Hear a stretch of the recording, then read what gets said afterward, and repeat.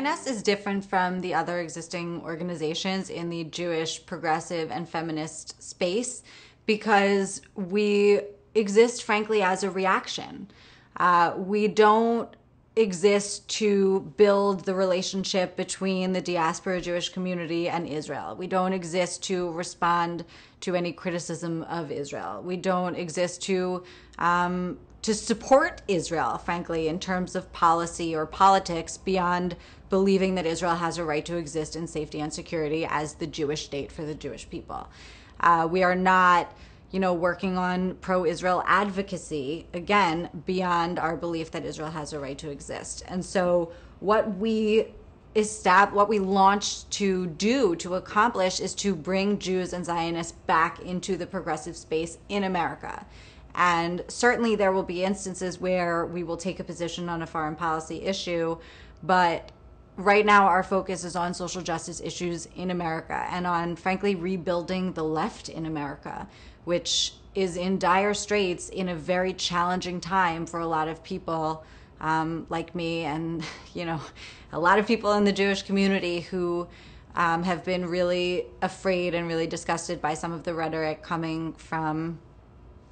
the highest levels of the American government and and a large portion of the American electorate. So we are responding to the alienation of the Jewish and Zionist communities from the left. We are responding to the hate and the vitriol against people like us and to the false narrative and the false choice that you have to be either a progressive or a Zionist. And so we're here responding directly to that suggestion and saying we are both and we are not going away.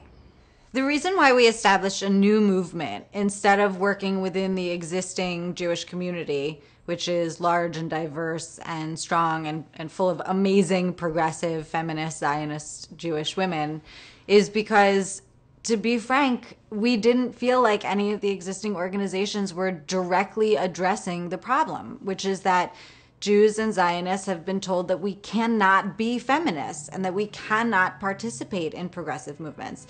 And while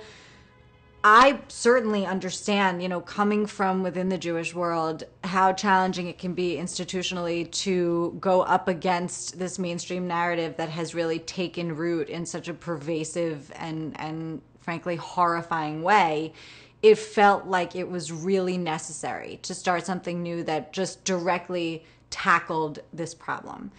And the response has just been so overwhelming. All of these people who say, I'm active in so many wonderful groups, but they're not showing up as proud Zionists and, and they're not um, directly challenging the suggestion that I don't belong because I'm a Zionist. And they're not necessarily even working to reclaim or to address the idea of what Zionism is and what it means and how it has nothing to do with a conflict or an occupation or, you know, any of the challenging policy and political issues that are surrounding the state of Israel. So